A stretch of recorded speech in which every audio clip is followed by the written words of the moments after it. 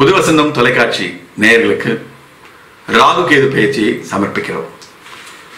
குரு பிரம்மா குரு விஷ்ணு குருதேவோ மகேஸ்வரः குரு சாட்சாத் பரபிரம்மா தஸ்மை ஸ்ரீ குரவே நம.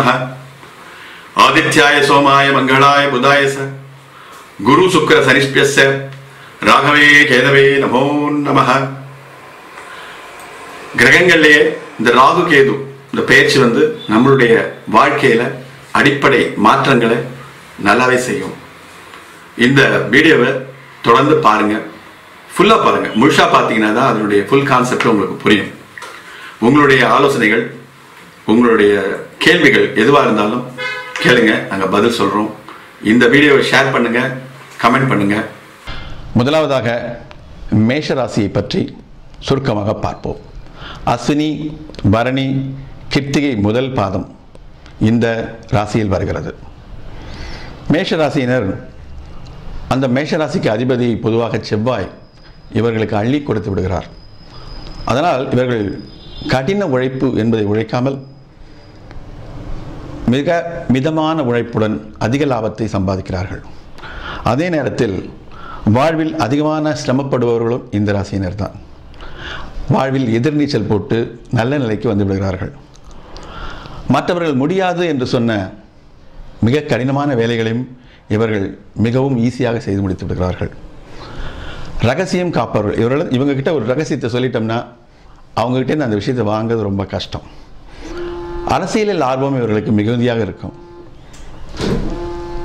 நாற்பத்தி ஒன்பது வயதுக்கு பிறகு அரசியலில் இந்த ராசியினர் சாதிக்கிறார்கள். சொத்துக்கள் சேர்ப்பதில் இவர்கள் மிகவும் ஆர்வம் காட்டுவார்கள். அதாவது புதுசாக வீடு வாங்குறது நிலம் வாங்குறது இதெல்லாம் வந்து இந்த ராசியினருக்கு ரொம்ப பொழுதுபோக்கான விஷயம். எதையும் லாபம் பார்த்து தான் ஒரு வேலையை செய்வாங்க. நமக்கு என்ன லாபம் இருக்குது அப்படின்னு பார்த்துட்டு தான் அந்த வேலையிலே இவங்க ஈடுபடுவாங்க. செல்ஃபிஷ் ஃபெல்லோஸ்னு சொல்லலாம். ஜெனரலாக பார்த்தீங்கன்னா சுயநலவாதிகள். இந்த இவங்க வந்து பார்த்திங்கன்னா தனக்கு என்ன இருக்குது தன்னுடைய லாபம் என்ன அப்படின்னு பார்த்து தான் இவங்க பழகுவாங்க. ஜென்ரலாக மேஷராசிக்காரர்கள். அவர்களுக்கு இந்த ராகு கேது பயிற்சி எப்படி இருக்குன்றத சுருக்கமாக பார்ப்போம். மேஷராசிக்கு இதனால் வரைக்கும் அர்த்தாஷ்டம ராகுவாக இருந்தார். ராகு பகவான் மூணாம் இடத்துக்கு மாறுறார். எப்பவுமே ராகு கேதுக்கள் வந்து ரிவர்ஸில் தான் போகும். மற்ற கிரகங்கள் எல்லாம் ஃபார்வேர்டில் போகும். ரெண்டு மூணு நாலு அஞ்சுன்னு போகும். பட் ராகுவும் கேதுவும் ரிவர்ஸில் போகும். எந்தெந்த இடத்துல இருக்கோ அப்படியே பின்னால் பின்னால் பின்னால் தான் போகும். ஏன்னா அந்த கிரகங்கள் வந்து சாயா கிரகங்கள் அப்படின்னு பேர். அதுக்கு ஒரு பெரிய கதையே இருக்குது அந்த கதையை அப்புறமா பார்ப்போம். ஸோ ராகு கேது இந்த ரெண்டு கிரகங்கள் தான் ஜென்ரலாக எல்லாருடைய லைஃப்லேயும் ஏற்படக்கூடிய கஷ்டங்கள். அதி அற்புதமான பயங்கரமான கஷ்டங்களுக்கும் சரி ஞான மார்க்கம் அதாவது ஒரு ஆன்மீக நாட்டம் இந்த மாதிரியான விஷயங்களுக்கும் சரி இந்த ராகு கேதுக்கள் தான் காரணம். அதனால தான் ராகு வந்து போககாரகன் அப்படின்னு சொல்கிறோம் கேதுவை வந்து ஞானகாரகன்னு சொல்கிறோம் போகங்கள் அப்படின்னா உலகத்தில் இருக்கக்கூடிய எல்லா சந்தோஷங்களுக்கும் மனிதனை தள்ளிவிட்டு அவனை தத்தளிக்க விட்டு அவனை உருப்படாமல் பண்ணுறது ராகுவோட வேலை. கேது ஞானகாரகன் அப்படின்னும் போது அதிலிருந்து மீட்டெடுத்து நம்மளுடைய வேலை இது இல்லை நம்மளுடைய வேலை ஞானத்தை தேடுவது அப்படின்னு நல்ல புதியை கொடுக்கறது இந்த கேதுவோட வேலை. இப்போ இந்த ராகுவும் கேதுவும் மேஷராசிக்கு என்னென்ன பலன்களை கொடுக்கும்ன்றது பார்ப்போம்.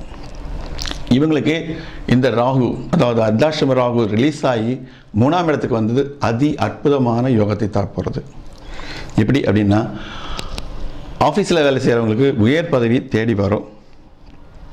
இவர்களுடைய திறமைக்கு தகுந்த பாராட்டு அங்கீகாரம் இடமாற்றம் ஊதிய மாற்றம் எல்லாமே இவங்களுக்கு வந்து ஃபஸ்ட் கிளாஸ்ன்னு சொல்லலாம். இந்த ராகு கேது பேச்சில் இவங்களுக்கு அற்புதமான பலன்கள் கிடைக்க போகிறது அது ஆனால் ஒன்று இவங்களுக்கு என்ன ஒரு பிரச்சனை அப்படின்னா லூஸ் டாக்ஸ் கொஞ்சம் இவங்களை பற்றின டாக்ஸ் வந்து வெளியில் விடும்போது அதுவே இவங்களுக்கு பிரச்சனையாயிடுது.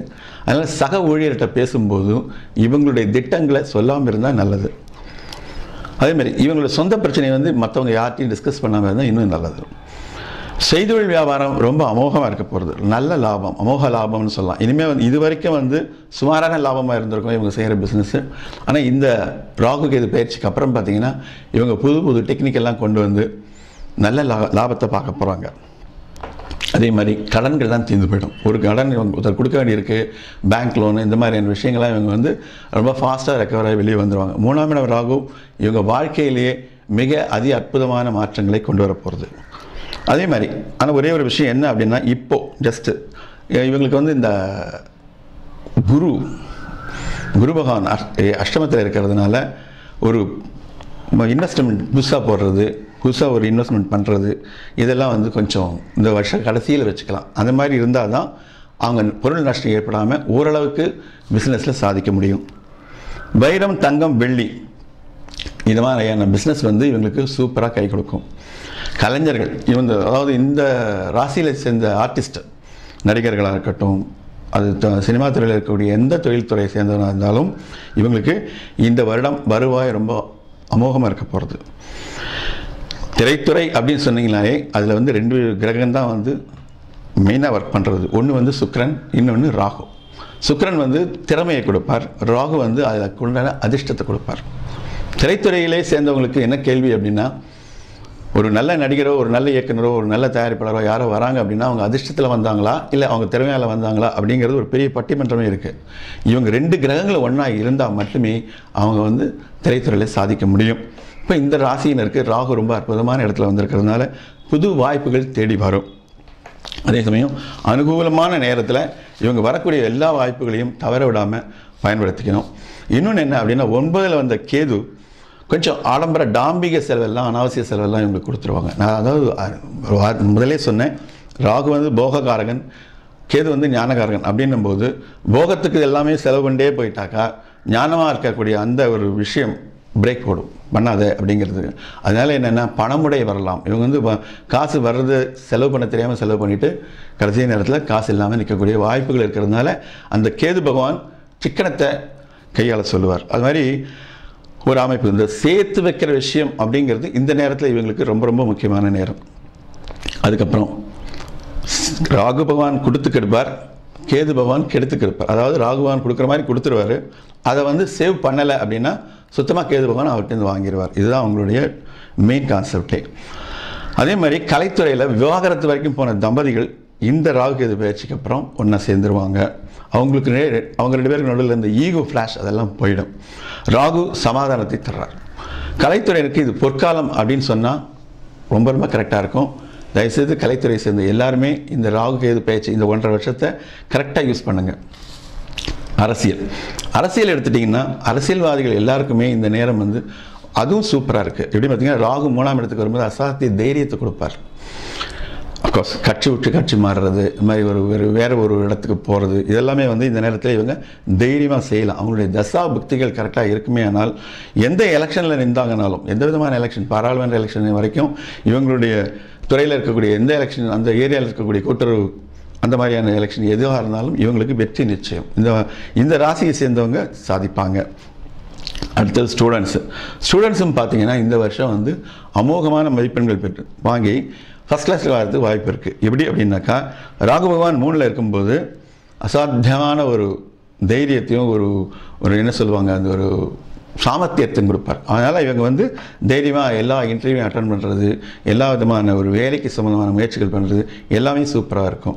அதுமாதிரி வெளிநாட்டுக்கு படிக்க போகணுன்னு ட்ரை பண்ணுறவங்களுக்கும் இந்த நேரம் ரொம்ப வசதியாக இருக்க போகிறது பெண்களுக்கு திருமண வாய்ப்புகள் திருமணம் ஆகிறதுக்கு உண்டான நேரம் குழந்தை பாக்கியம் இந்த மாதிரியான ஒரு நல்ல தகவல்கள் இவங்களுக்கு இந்த நேரத்தில் அமையும். ஸோ ஆரோக்கியம் ஆரோக்கியம் கூட பார்த்திங்கன்னா பெண்களுக்கு இந்த நேரத்தில் ரொம்ப நல்லா இருக்க போகிறது இவங்க வந்து லேடிஸ் ஜென்ரலாக வந்து இந்த நேரத்தில் ஆடம்பர செலவுகளை குறைச்சிக்கிட்டு கொஞ்சம் சிக்கனத்தை கடைபிடிச்சாங்கன்னா ரொம்ப நல்லது. ஏன்னா அஷ்டமத்தில் குரு பகவான் காத்துக்கிட்டு இருக்கார். எப்படா உங்கள் கை காசை கொடுங்கலாம் அப்படின்ட்டு. அதனால் மேக்சிமம் செய்கின்ற செலவுகளை வந்து கண்ட்ரோல் அதாவது கட்டுப்பாடாக செய்யும்போது செமி செமிக்கவும் செய்யணும். அதேமையும் அது வந்து எதிராளி பார்வையில் கண்டத்தனமாகவும் தெரியக்கூடாது. அந்த மாதிரி நீங்கள் நடந்துக்கணும். மொத்தத்தில் இந்த ராகு கேது பயிற்சியிலிருந்து உங்களுக்கு பரிகாரம் அப்படின்னு சொன்னாக்கா ரொம்ப சிம்பிள் பக்கத்தில் இருக்கக்கூடிய விநாயகர் கோயிலுக்கு போய் வணங்குறது. திருநாகேஸ்வரம் கீழ்பெரும்பள்ளம் இந்த மாதிரியான ராகு கேது ஸ்தலங்களுக்கு வருஷத்தில் ஒரு வாட்டி ஒரே இடத்துல போயிட்டு வந்தீங்கன்னா போதும். இது எதுவுமே முடியல அப்படின்னா இருபத்தி ஏழு கருப்பு உளுந்து இருபத்தி ஏழு கொள்ளு இது ரெண்டையுமே வெள்ளை துணியில் முடிச்சுக்கு போட்டு சாமிக்கிட்ட வச்சுருங்க. அதை வந்து டெய்லி கும்பிடும்போது தொட்டு கண்ணில் ஊற்றிக்குங்க இதுதான் சிறந்த பரிகாரம்.